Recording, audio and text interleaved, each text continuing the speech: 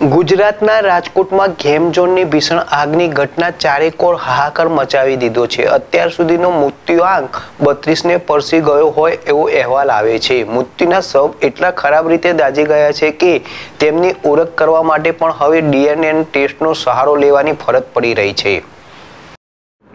રાજકોટના કાલાવડ રોડ ઉપરના DRP game ઝોનમાં ગતરોજ લાગેલી આગમાં એક નહીં પણ અઠ્યાવીસ લોકોની જિંદગી બળીને ખાક થઈ હતી. હજુ ગતિ વાત તો એ છે કે કોરોના સમયે એ જગ્યાએ કોવિડ વોર્ડ હતો.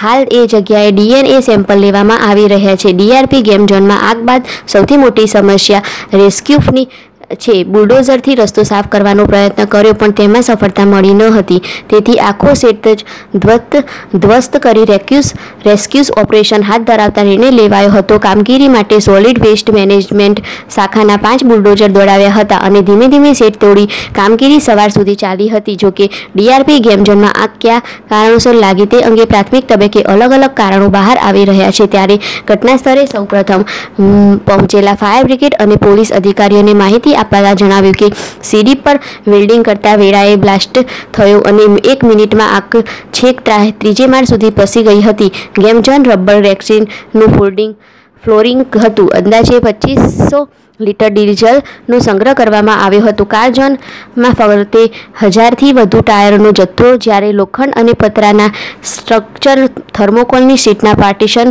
કારણે આગ વધુ પસરી હતી. માત્ર ગણતરીની મિનિટોમાં જ ઘટ- ધડાકો સાથે છેક ત્રીજા માળ સુધી આગ પ્રસરી ગઈ હતી, જેમાં બાળકોની સહિત લોકો અંદર હતા.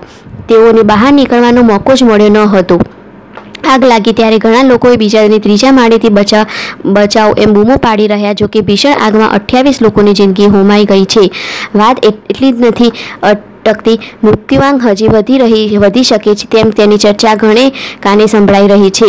ટીઆરપી ગેમ ઝોનમાં લાગેલી આગનો ભયંકર આગની ઘટના બાદ મુખ્યમંત્રી ભૂપેન્દ્ર પટેલ, ગૃહમંત્રી હર્ષ સંઘવી ઘટના સ્થળે મુલાકાત લીધી હતી. ત્યારબાદ તેઓ હોસ્પિટલમાં સારવાર લઈ રહેલા ઇજાગ્રસ્તની મુલાકાત પહોંચ્યા હતા. ત્યાં જે દર્દીઓ રાજી ગયા છે તેમની સાથે વાતચીત કરી ખબર અંતર પૂછ્યા હતા. તેમજ મૃત્યુ પામેલા પરિવારજનોને સાંત્વન પાઠવી હતી.